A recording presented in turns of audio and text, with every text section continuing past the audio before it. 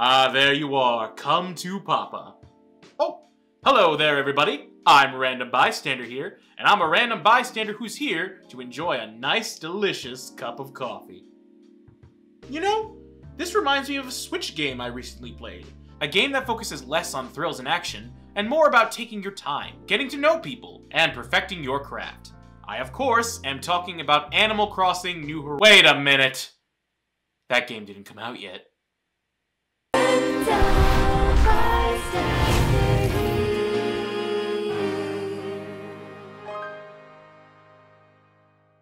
Coffee Talk. It's a game that I knew absolutely nothing about. I forget who, but someone on Twitter recommended this game, and the trailer really intrigued me with its detailed pixel art and peaceful tone. Instead of rescuing the princess, collecting sacred items, or beating an evil boss, you are just serving coffee and listening to people talk about their lives. It's a unique premise, although from the sound of that alone, it may be a bit boring. However, I decided to buy the game with my own money, yes, this is not a sponsored review, and give it a shot. Could a game about coffee keep me awake? Well, it's time to sit down with your favorite hot drink and let's see what's brewing with Coffee Talk.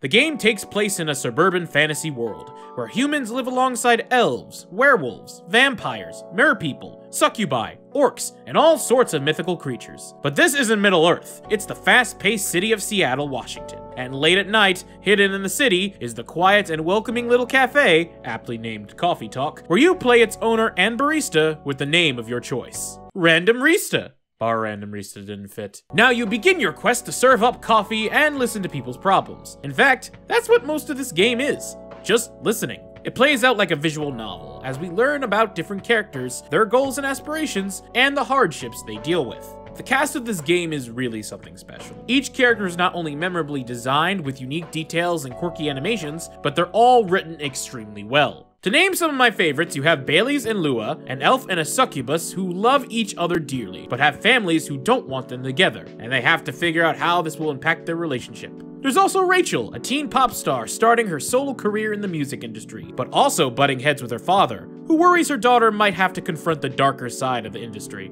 You also meet a mermaid who wants to be an indie developer, a vampire model, a werewolf looking for a calming sedative, an alien in a spacesuit, on a mission to breed. Oh, yes. And of course, my favorite character, Freya, a human regular at the coffee shop, desperately trying to balance her novel writing with her work life. As a fellow writer, I can't tell you how hard I relate to this character. Literally writing the script for this, I'm relating to this character. Also, look at that smile. She's so adorable. Just make sure the alien stays far away from her. There's a lot I don't want to spoil, as the meat and potatoes is the dialogue and the story of the game. But one thing I love about Coffee Talk is that even though it takes place in a fantasy setting with all sorts of different creatures, everything is so relatable. These conversations go into many topical issues that hit close to home without coming off as preachy. It's all done with natural sounding dialogue and subtle character growth, while you slave away at the counter.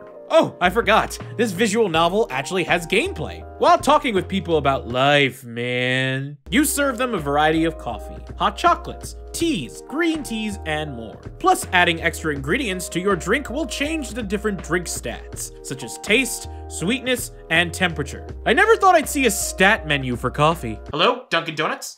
Yes, I like to order a masala chai. That's not too bitter, but also not too sweet, and warm and cold at the same time. Hello? Sometimes you can even make art with the milk. Anything your heart desires. I'm not sure what my heart was desiring here. But getting orders isn't always that easy. Some orders are easy to piece together, but others can be very vague, and you'll have to experiment to see what works and what doesn't. The more drinks you make, the more that gets added to your phone app. The Brewpad, an app that basically keep tracks of what drinks you made. Hey, there's also a social media app where you stalk, I mean learn more about the customers, called Tomodachi. There's a news app with short stories written by Freya herself. Keep it up, Freya, you'll be starting your YouTube channel in no time. And hey, there's a music playlist where you can choose the soundtrack to your cafe. And speaking of the soundtrack, oh my god, the soundtrack. This is some of the most relaxing music I've ever heard. It really adds on to the game as it makes the atmosphere and the game itself feel a lot more inviting. Like even after a long day of life, I come into this shop, hear this music, and have a warm latte, or green tea, or milk, or or Galahad. What is a Galahad? I never heard of that drink. I haven't heard of any of these drinks before this game. What is a Galahad? Is it real? Speaking of drinks, this game gives you a lot of room for experimentation, especially since the game is replayable and you may not get everything right your first time. Heck, if you want, you can even mess up the drinks on purpose to see what happens. You asked for a couple of ice cubes in your drink, and I only put in one!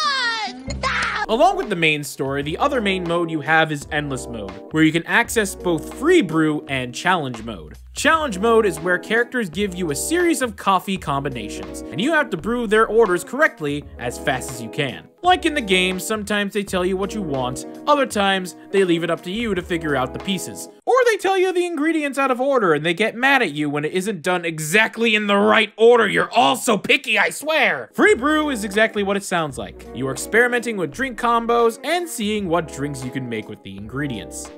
That's it. It's good if you want to experiment and see what beverages you can make, but there really isn't a reason to do so unless you want to 100% the brew pad. Which brings me to my only negative about the game. The side content and anything after the main story is a little bit lacking. While the story shines and there's tons of replayability, like Untitled Goose Game, once the main game is done, there isn't too much to do afterwards. The unfortunate thing about these indie games is that they can be a bit short and leave you wanting more. And Coffee Talk unfortunately falls into that same position. Still, what the game is, a calming experience with a thought-provoking story and food for thought, or in this case, drink for thought, I think the experience is more than worth it. Just something about everything in this game makes it feel warm and welcoming, and that describes Coffee Talk to a T. A green tea? Pun aside, this game has great design, a tranquil atmosphere, an interesting story that keeps your attention, and just an overall comfy and cozy experience. It's something you play tucked in bed after a long busy day at work where you can unwind, take a breather, and forget about your worries, while being engaged with a fun coffee game. Is it the most engaging game? Not really. You don't even have dialogue options, but it still has a lot to offer. If you're a fan of visual novels, or if you want to try a game that's a little bit different, I'd order some fresh brewed coffee talk. I hope you enjoyed the power of a good cup of joe, and how it can make you relaxed and solve most of your problems. Now if you'll excuse me, I'll finally take a sip. Oh wait! I hate coffee! Well hey, you made it to the end of the video. Thank you so much for watching all this time, and I hope you enjoyed what you saw and liked the channel. If you like what you saw, feel free to check out other videos we have, which are listed somewhere around in the end screen, I don't know exactly where. If you really like what you saw, like, comment, and who knows, maybe even subscribe if you want. I would appreciate it immensely. I usually upload a video once every Friday, whether it be a review like this, Twitch compilations, or an episode of the Random Streamer Here podcast, all which you can find in the channel below. I also stream on Twitch at least three days a week. You can check my Twitter and other social media to see when I'll be streaming. And who knows, I'll be able to say hi to you. And you can even suggest some games I could cover for the review. Thank you very much for watching until the very end. It truly means a lot to me, and have a good night. Joke's on you, this was Ice-T all along!